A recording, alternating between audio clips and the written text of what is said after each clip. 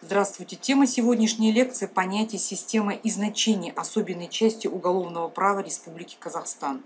Мы рассмотрим два вопроса – понятие, задачи и система уголовного права Республики Казахстан. Второй вопрос – источники уголовного права Республики Казахстан.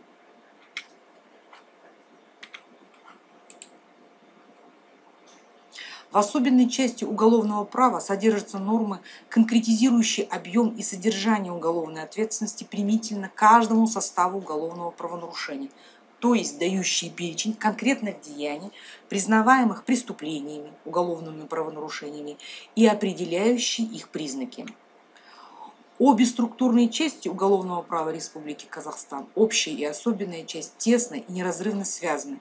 Институты общей части являются как бы фундаментом всей системы уголовного права, поскольку закрепляют общие правила применения уголовно-правовых норм.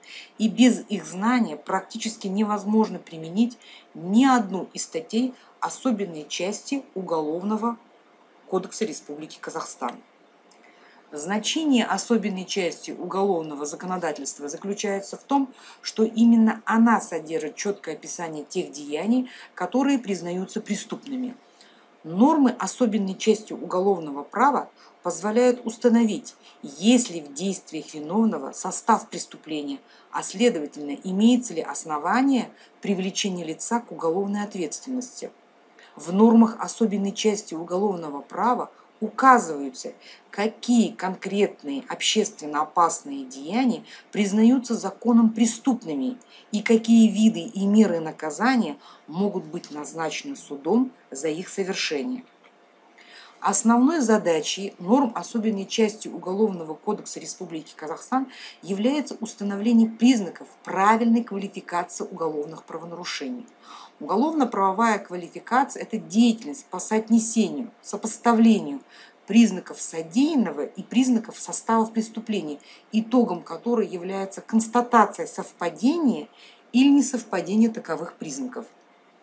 От правильной квалификации уголовных правонарушений зависят многие правовые последствия – признание лица виновным в совершении уголовно наказуемого деяния, возможность или невозможность освобождения от уголовной ответственности, вид и размер наказаний, которые будут назначены по приговору суда, вид учреждений, в котором должно содержаться лицо в случае лишения его свободы, возможности признания наличия того или иного вида рецидива, условия досрочного освобождения от наказания, подсудность, подследственность, и другие последствия. Таким образом, квалификация уголовных правонарушений в уголовном праве – это точная уголовно-правовая оценка конкретного общественно опасного деяния. Она заключается в установлении точного соответствия между признаками совершенного общественно опасного деяния и признаками, предусмотренного, предусмотренными в нормах уголовного закона.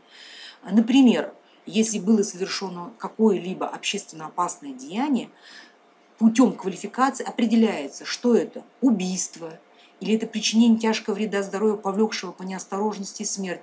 То есть квалификация, она определяет конкретно, какое деяние, соответственно, статье особенной части Уголовного кодекса было совершено.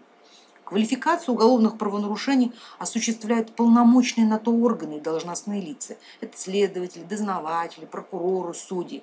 Выделяют также неофициальную квалификацию, которую может осуществлять любой человек. Ну, в частности, например, вы студенты. Юридическим основанием квалификации преступления является его состав, состав уголовного правонарушения. Это понятие мы уже изучали в общей части уголовного права.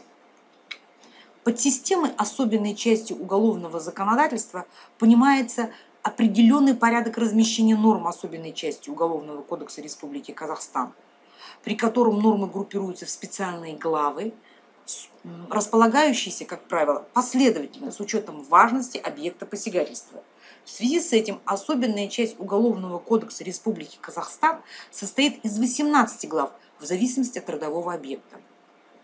Общим принципом систематизации норм особенной части уголовного права является их группировка по объекту преступных посягательств. Такая систематизация не противоречит положению о том, что принципом систематизации права является систематизация по объекту правового регулирования. Как я уже сказала, особенная часть состоит из 18 глав. И эти 18 глав, э, эти 18 глав созданы на основании родового объекта. Например, первая глава «Уголовные правонарушения против личности». Здесь родовым объектом является личность. И, наконец, последняя глава в особенной части, которая называется «Воинские уголовные правонарушения». Здесь же родовым объектом выступает порядок несения воинской службы в Республике Казахстан. Уголовное право, том числе и его особенная часть, весьма близко соприкасается с административным правом. Обе отрасли права направлены на борьбу с правонарушениями.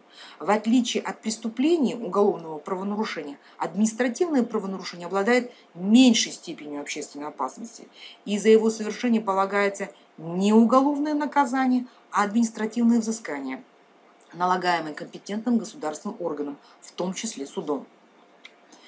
Источниками уголовного права, в том числе и особенной части, и можно назвать следующее. Теория права выделяет материальные и формальные источники права. Под материальными источниками понимаются те явления, которые порождают ту или иную правовую норму, составляют ее основу. Формальные источники права – это внешняя характеристика правовой нормы. Если материальные источники характеризуют содержание уголовно-правовых норм, то формальные – их форму.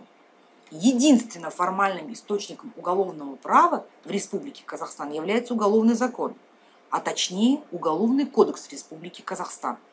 Этот вывод вытекает из анализа содержания части 1 статьи 1 Уголовного кодекса Республики Казахстан, согласно которой уголовное законодательство Республики Казахстан состоит исключительно из настоящего Уголовного кодекса Республики Казахстан. Иные законы, предусматривающие уголовную ответственность, подлежат применению только после их включения в настоящий кодекс. Уголовный кодекс Республики Казахстан, являясь единственно формальным источником уголовного права, был принят 3 июля 2014 года, вступил в действие с 1 января 2015 года.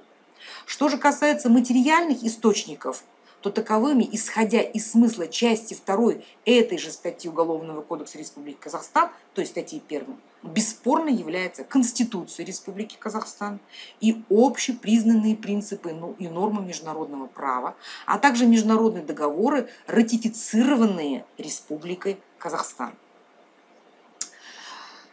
Для подготовки темы понятий, значения, задачи, особенной части уголовного права рекомендуется следующая литература.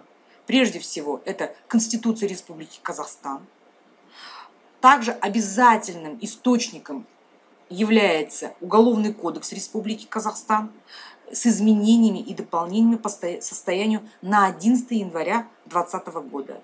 Особое внимание я прошу обратить на законы Республики Казахстан, в частности закон о прокуратуре, закон об адвокатуре и так далее.